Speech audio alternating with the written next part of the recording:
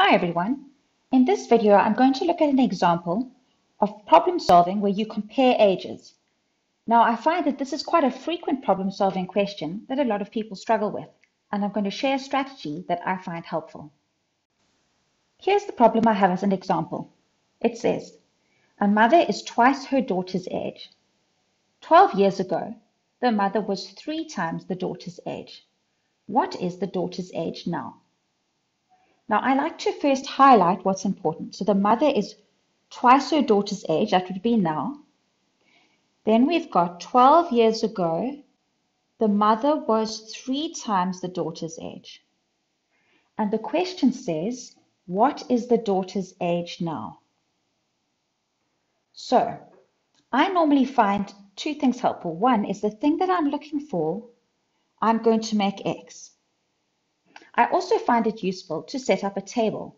So the thing I'm comparing is the mother's age and the daughter's age.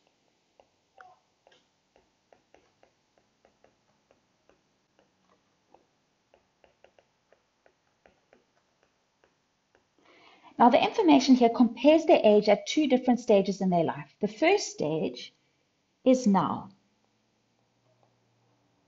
And now if I've got the mother being twice the daughter's age, I think it's going to be easiest to make the daughter x, because that's what I'm looking for, which means the mother will be 2 times x. So if I made the mother x, then the daughter would be half of x. And I find it easier to rather avoid fractions just to make my calculations a little bit easier. Now the next time period that is I'm told about is 12 years ago. Now for now, I'm going to ignore the information that the mother is three times the daughter's age and just look at the information I've been given.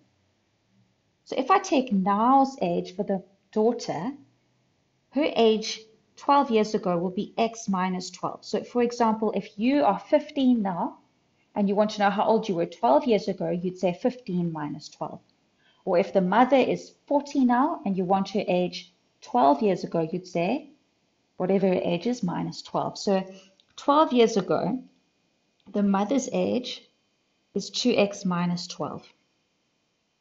Now next, we need to look at what else they told me because I want to set up an equation to find out how old the daughter is.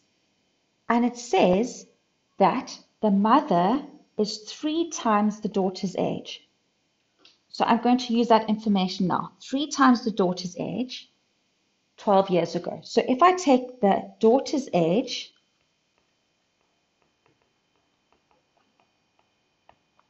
Twelve years ago, and I multiply that by three, I'm going to get the mother's age. For when? For 12 years ago.